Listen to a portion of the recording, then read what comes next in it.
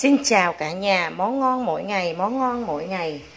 Hôm nay à, mình sẽ giới thiệu cả nhà là cải ngồng. Cải ngồng mình xào, xào, xào dầu không thôi nha. Xào à, thì, à, dầu với tỏi.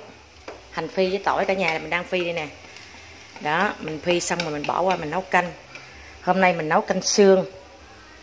À, Canh xương với trứng Với cà chua nha cả nhà. Đây cà chua đây.